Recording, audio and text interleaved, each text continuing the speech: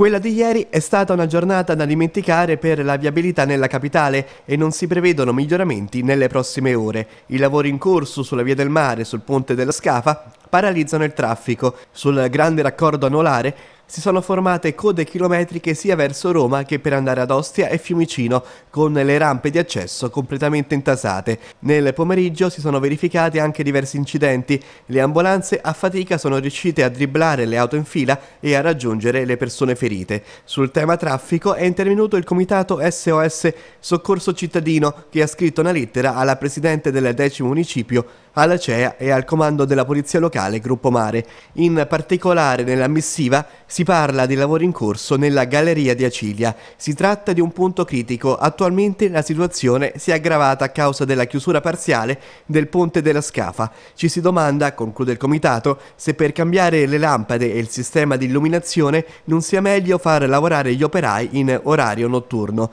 Sarebbe bene correggere l'ordinanza ed evitare questi inutili disagi agli automobilisti. Intanto anche stamattina si sono registrate code sulle strade di collegamento tra Ostia e Roma, in particolare sulla Colombo.